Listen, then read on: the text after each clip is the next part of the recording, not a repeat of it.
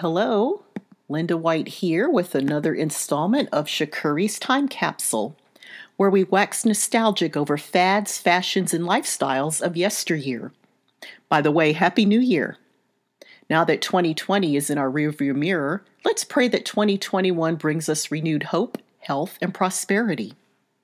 Speaking of the new year, since a lot of folks tend to set diet and exercise related goals this time of year, I thought I'd dedicate this first podcast of 2021 to a look back at vintage exercise equipment. Now, I don't know about you, but whenever I see old photos of early 20th century exercise equipment, it tends to look more like medieval torture devices to me rather than something that somebody would voluntarily use. The first thing that immediately comes to my mind whenever I think about vintage exercise fads is that vibrating slimming belt machine.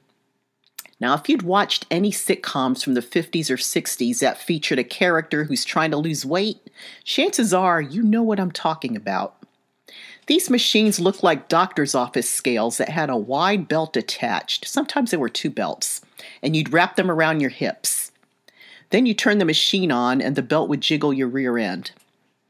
Now, these things had actually been around since the 1920s, but really hit its peak in the 50s, 60s, and early 70s.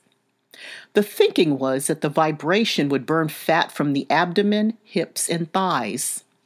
Now, whether they really worked or not is anyone's guess.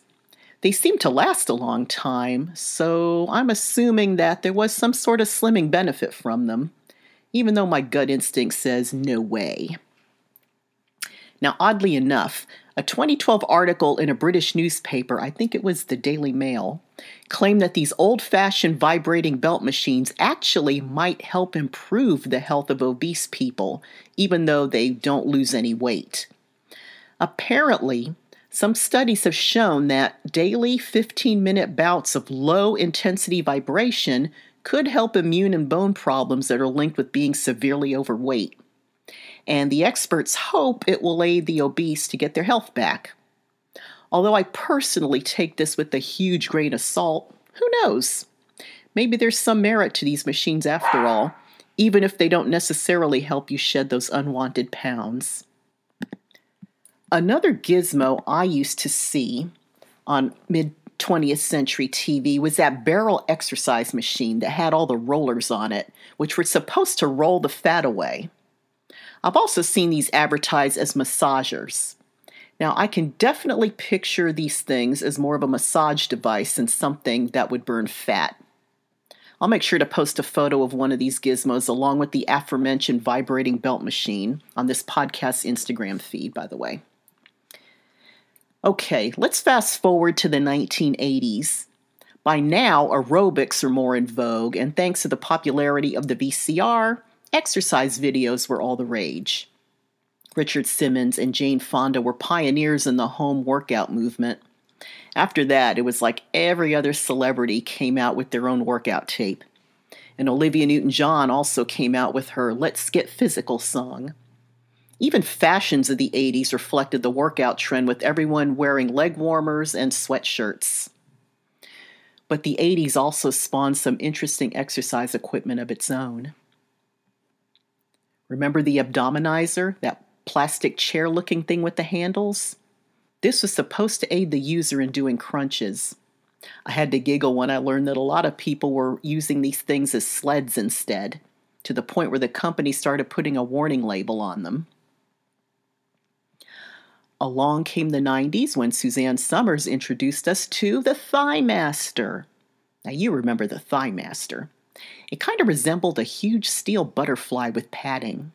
The idea was to use your thighs to squeeze the handles of this thing inward, thus toning your inner legs.